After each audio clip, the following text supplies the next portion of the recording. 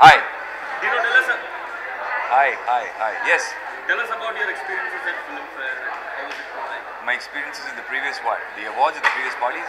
No, awards and parties. Filmfare, amongst the many awards, is one of the more prestigious awards. So it's always been a great experience. There's always some great entertainment, a lot of fun. Meet all my colleagues. So it's a great platform to come here and sort of interact. Since we don't all meet very frequently, this is one platform where we all get to meet. Bollywood is I hope to see myself this year back on screen. Not back on screen, hopefully, you know, back acting this year and maybe on screen if it releases early next year. with I haven't, but I hope to do something this So year. in talks with someone? Yeah, I'll talk many people, yeah. Okay. So But it's a matter of it's a matter of time before something good happens. Any exciting projects lined up? I'm hoping so. Yeah. Yeah. Okay. Thank you.